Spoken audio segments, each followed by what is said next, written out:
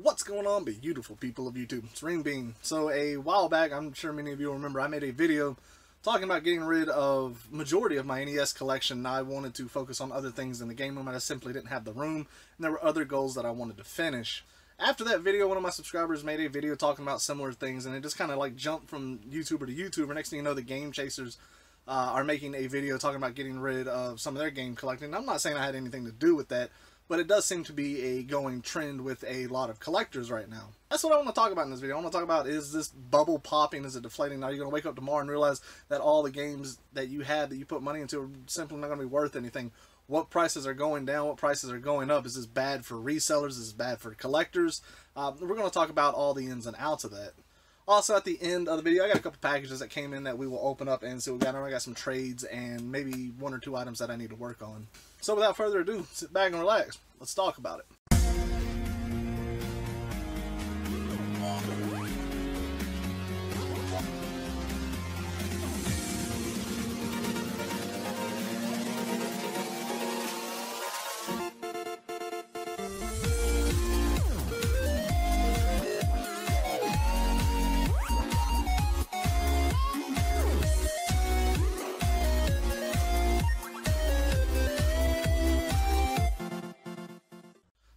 Said, um, you know, a while back, I'm sure many of you know that I sold off majority of my NES collection, and the reason for it was there was there's a handful of reasons. Simply, I did not have the room. A lot of people know my game room. They know that it's about packed to the kills with as much as I can put. So in order for me to add, really add anything that I want, I got to take something away, and the NES was just kind of the first thing that I thought of. I have love for the NES. I kept a hundred to maybe 150 games, games that are nostalgic to me, games that I know are awesome, that I will play, that I will continue to play, and that I just could never see myself parting with.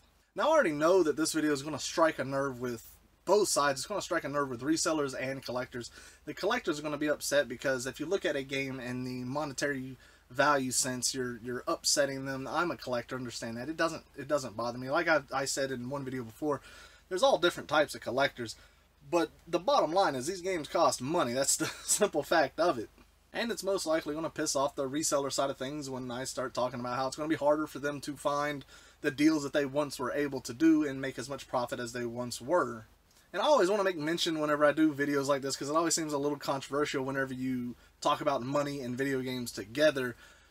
You have to be an idiot to believe that I paid out of pocket for everything that I have in my game room. There's no possible way. I took a lot of inspiration from CJR earlier on. If you see his game room, it's it's amazing. He's got a very wonderful game room, completely paid for from yard sales, buying, and, and flipping. That's just a simple way of doing things.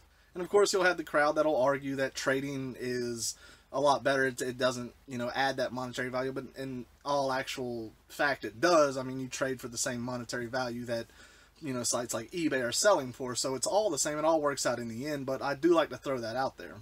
So what have I noticed with the retro bubble, as everybody likes to call it? I always think that's the funniest thing. Uh, is it popping? In my honest opinion, no. It's it could be deflating, absolutely. I mean, there is a, a trending down in popularity with retro gaming collecting that I have seen, uh, especially with prices. You know, as a lot of people know, I am a full-time reseller. I sell games daily, so I, I notice fluctuations in prices, and they haven't really been fluctuating up. Uh, there could be a whole lot of variables to that. There could be the variable of it just being summertime, the summer slowdown. It affects a lot of people. I would expect a lot of things to start rising, you know, towards the end of September, around those sort of dates. I think when people think of the retro gaming bubble popping, they just think they're going to wake up tomorrow and it's just going to be like the stock market crashed where they, they hop online and they look on eBay and the cheapest Mega Man X3 is is like 40 bucks or something. That's that's not going to happen overnight. It's it's it's pretty damn impossible, I think, for that to happen. And sure, I mean anything's possible. I believe was Einstein said it's the probability of walking through a brick wall is very low, but if it's probable, it's possible. Hell, I don't know. I'm probably talking out of my ass, but still, you can understand what I'm saying.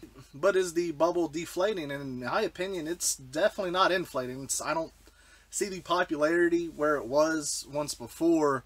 I see a lot of lost interest with a lot of people. I see a lot of old head collectors out there, you know, just completely selling off their collection. For me, I simply couldn't do that. I couldn't I couldn't sell anything.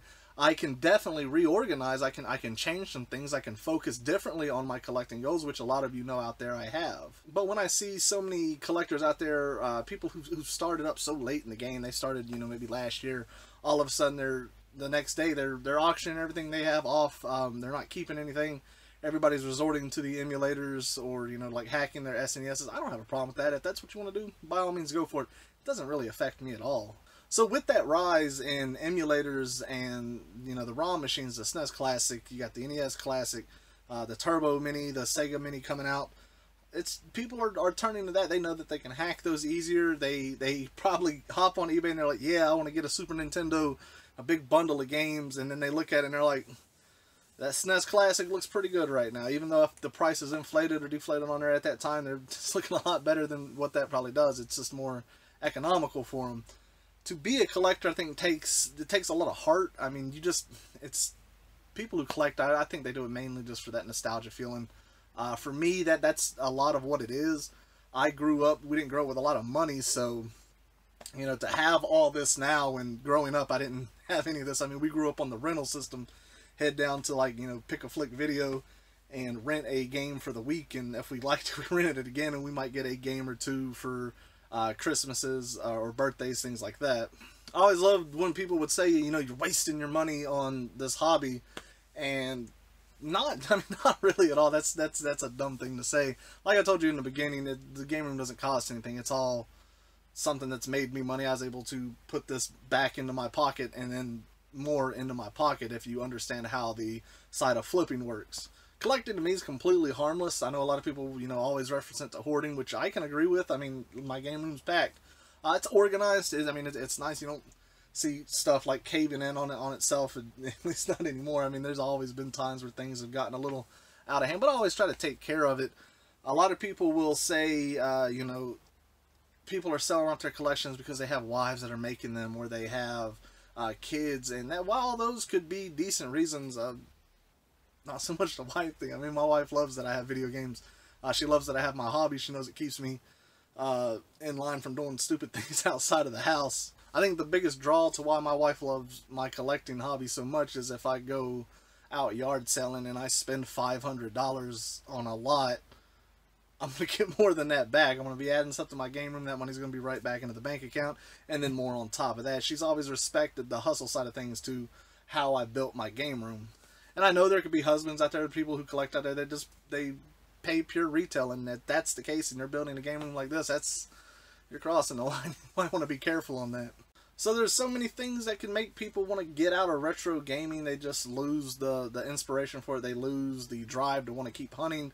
Uh, they may not even play the games much anymore. I, I know so many collectors out there that, that don't really play their, their game room.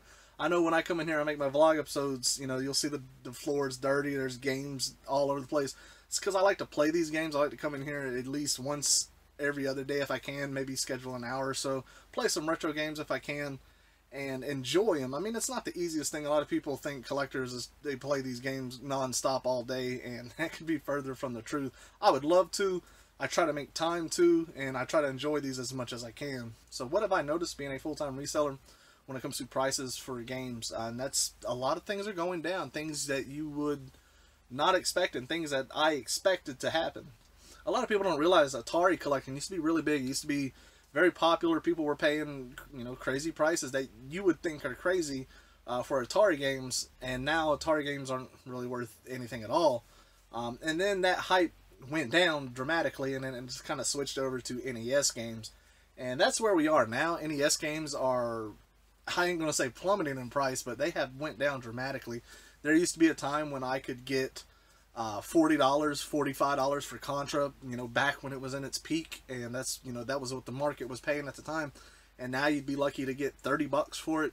Same with uh, Super Mario 3. I, I, know a lot of game stores they'll still try to charge 25, 30 bucks for it, but on eBay you're lucky to get 12 or 15 dollars for it when you move up the generation, when you go to Super Nintendo, N64, PlayStation, all that stuff seems to be plateauing. It doesn't seem to be going really down as much. I do notice some, some GameCube games going up, original Xbox. Some titles are going up. Um, I think people are becoming more selective uh, versus you're, you're not having these everything collectors out there who just have to have it, you know, regardless of the game. So they're being real selective on good titles So you'll see a lot of later system game, you know, 64, PlayStation 1, Xbox, uh, anything, you know, Super Nintendo and up. You're going to see um, the market get real selective, I think. You're going to see popular titles hold a value, if not climb, while the, you know, uncommon, terrible games, while may have been pricey before, start to go down, which I have noticed. So is it good for collectors? Absolutely. You're going to be able to get games cheaper. Uh, for the most part, I'm sure there's going to be people who are sticklers at yard sales and flea markets be like, you know, these games sell for quite a bit. You know, they had them for three yard sales now, you know, three years in a row, and they haven't sold because they're wanting, you know, ten dollars for Super Mario Brothers three, which you know, to some people that's a good good price. Some people it's a terrible price.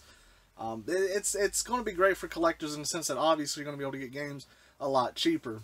Is it bad for resellers? Absolutely. It's, I mean, if, if you buy games and you flip them for a profit, you're losing a lot of that profit. Not only that, if you aren't going to stay current on prices, you're going to be losing out. And there was a time when I could pay upwards of $10 for a copy of Super Mario Brothers 3. I, I reference that game a lot just because, you know, a lot of people have that price in their head. They, they're current with it. Um, and now I can barely find I could barely pay five dollars for it. It's got to be like good condition, just because I know that the profit margin is going to be terrible by the time I actually sell it. Um, and that's what you got to keep in mind.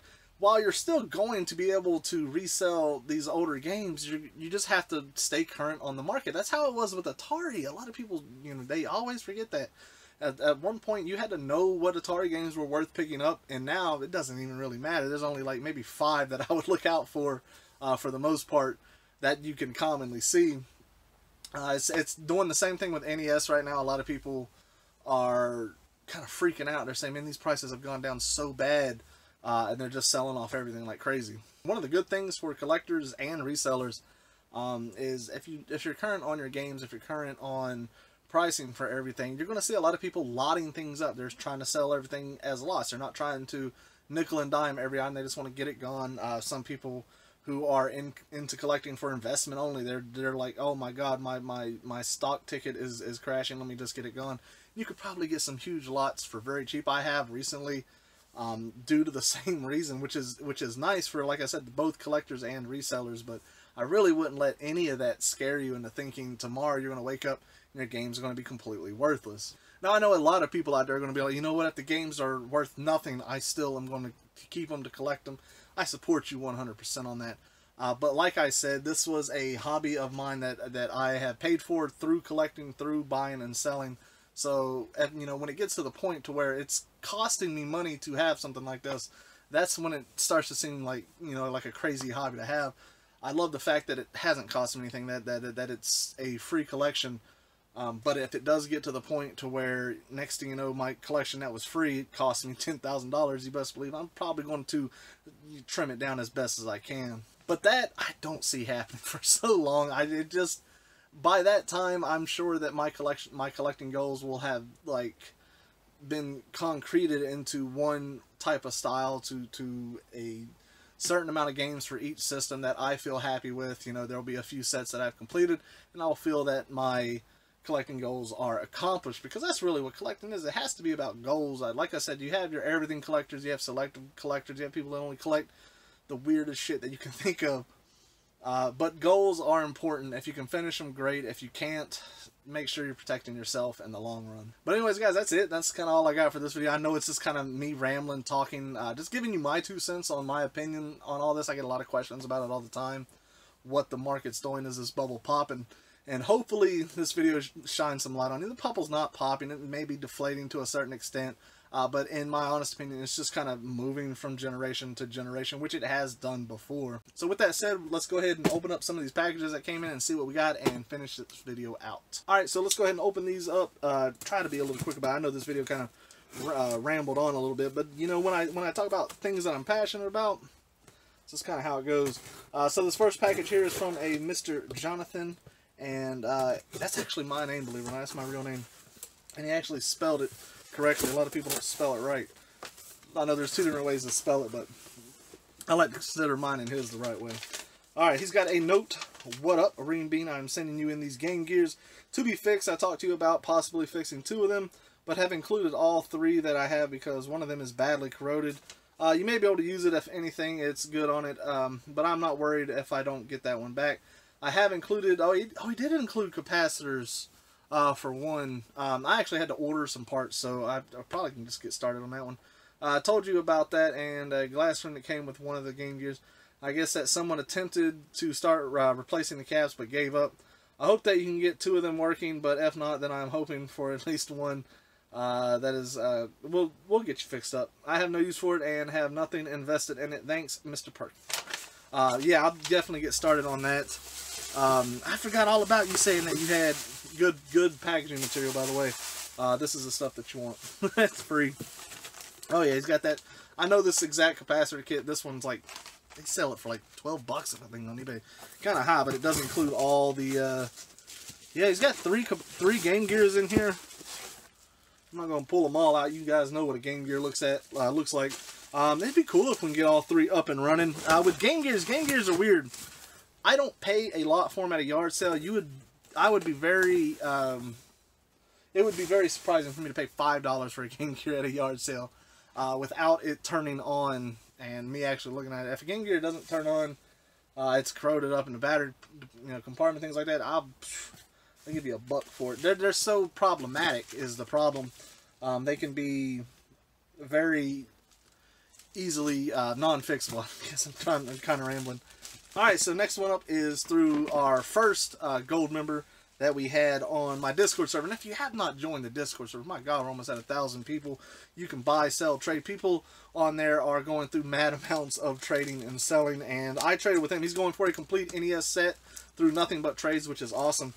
And I know going doing a video like this and, and talking about something like this, like why are you, why is he trading? Why is why are you trading for things instead of selling? Because I'm a collector. I love to collect things. He likes collecting. He's going for his goal. Just because the prices may be dropping on something doesn't mean it affects him, um, and it doesn't mean it affects me in the way that I want to collect. So you're always going to see me collect and add things to my game room, and I was very happy that he was able to do this. I can't remember what I traded for him. I know I traded a complete in box duck hunt, except I think it was missing the manual, and um, maybe some I want to say some unlicensed game. My memory is terrible. He's a very good guy though. Uh, oh, go retro, go. All right, let's see if we can open this up here. Oh yeah, man, I, I love when my memory's terrible because it always surprises me whenever I get a trade in. Uh, this does not have the game, by the way. This is just the box and the manual for uh, Kirby's Dream Land. Um, Night Nightmare in Dreamland. I'm trying to look at this on the camera. Uh, box is very nice. I, I have this game. Huge Kirby fan. That is awesome. Uh, let's see here. Uh, another game for my N64 set, which I am getting so close to completing. Hydro Thunder right there. Very cool. Uh, the next box over here Oh, that Kirby's Dream looks good too. Oh yeah, this is cool. This is the N64 expansion box right here. That box is amazing. I collect weird things like this since I am going for the N64 set. Why not collect things like this? Uh, so that is awesome. Go Retro Go. Thank you so much for that. I appreciate that trade, buddy. Alright, so next up is a package from someone that you will probably recognize, which is Tatted Collector. And um, I can't remember the full story on this. I believe he found this and he was going to put a battery in it or something. Um, it didn't work, so he's just going to send it off to the Video Game Brothers. Uh, but luckily, I believe Phil found one, and lucky for me, he sent it my way, which is good. Uh, so I'm going to show you what it is. it says, Dear Mr. Fuckhead, I had intention on replacing fixing it for King Phil, but five dollar, uh, five five dollars. But so here's a project for uh, is this folded? Is this why I can't read this correctly? Alright, I had intention on replacing the screen on this and fixing it for King Phil, but he recently found one for $5. So here's a project for you uh, for a video. Screen needs replacing and needs a new battery. Hope it works uh, out and you can get some enjoyment out of it. Uh, like a man, Tatted Collector. Oh man, I can't really show you the pictures that uh, he's included. Uh, uh, but that's alright. Uh, he's a trip. Alright, let me see. Let me show you what it is. This I've never found one of these in a while, not for a good price. I definitely do not mind fixing it up if I can. Um, and that's what we're going to be doing here if I can get it open. Let's see. There it is, too. Ladies and gentlemen, my first ever PSP, or PlayStation Vita. I'm so used to not having one of these. Uh, it's always been about PlayStation uh, uh, PSPs. Oh, those joysticks do feel weird. I was, I was asking, I was like, what do those joysticks even feel like? Uh, screen definitely needs replacing, uh, which I can do. I can throw a screen on it. Probably a new. I'll probably just get, see if I can't do a whole new housing swap on it. Uh, definitely going to um, have to try to fix that up for sure. And thank you, buddy. I actually sent him something recently. He was talking about how he wanted uh, Milon Secret Castle for the um, NES, and since I was getting rid of some of my stuff, I sent that his way. Uh, so thank you, sir. If you guys ain't checked this channel out, check it out. Um, all right, this next pickup is another trade. This was a big trade that I did with one of my buddies. Uh, he didn't write his name on here, but I know his name. So if he didn't write his name, I probably shouldn't say it. Um, but he's a good guy. I, I dealt with him at the convention. Um, I don't know if I've traded with him outside of the convention or bought from him. I've dealt with him a handful of times. I can't remember anything about it. Uh, but anyways, I know about this trade, and he, he got a bunch of stuff from me. I'm talking a bunch of NES games. Um, nothing crazy, you know, just a lot of stuff he wanted to add to his collection as I drop things over here. Uh, let's see, alright. First up, I feel it in there, and I told you it did not need to be in there. Uh, this is, oh man, that box, he ain't lying, that box had seen better days.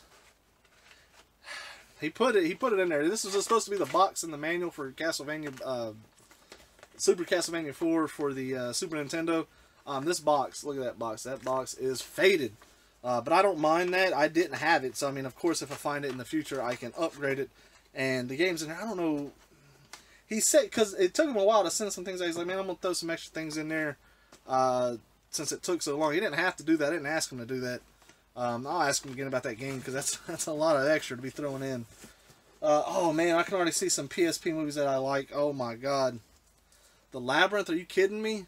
This is an excellent movie right here. Whenever Hoggle pisses into the into the pond at the beginning, oh Hoggle! he was. A, I love that movie, man.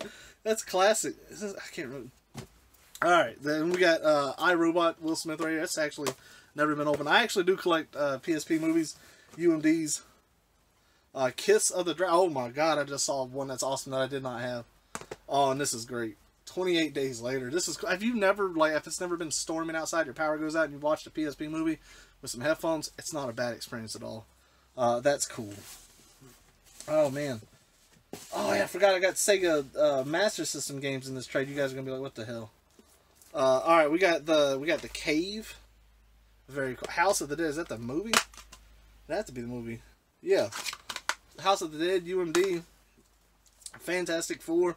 DMX, Never Die Alone. The dog comes out. Alright, more UMD. Oh my god, people are getting rid of uh, all their UMDs. I like collecting them. I think they're amazing. Uh, Mr. and Mrs. Smith. Deuce Bigalow, European Gigolo. There's something about Mary and the famous hair scene. and then Hot Shot Golf's Open Tee. Uh, very cool. God almighty, that's a bunch of... A handful of them. Alright, let's see here.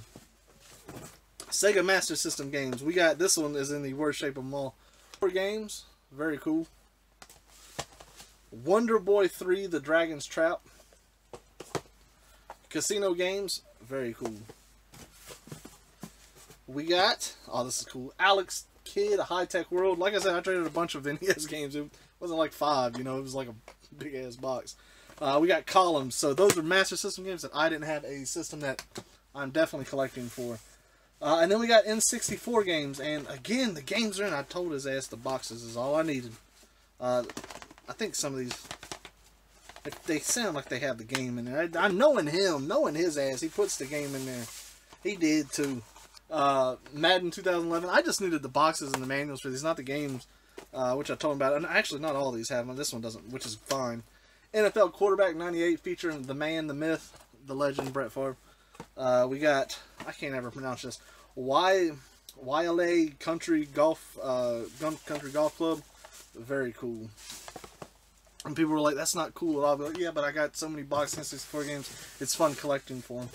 Uh, and then down here in the bottom, the final few that we have are, I don't even remember asking for that one. Was it in there? Twisted Edge, which I know I, I don't have the box, I don't think. I can't remember asking for it. Um, Tony Hawk's Pro Skater 2. Tony Hawk's Pro Skater 1, and these are all flattened, which are fine as shit. Once I box them and put them in a thing, they'll look just fine. And of course, WrestleMania 2000.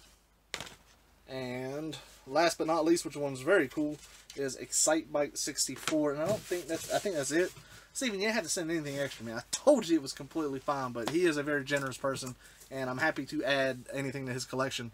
So to everybody out there that sent something in, whether it's for work or that we did a trade, I appreciate it. And to everybody out there who watched this video, especially to the end, I appreciate you watching. So to everybody out there, take care and enjoy the rest of your day.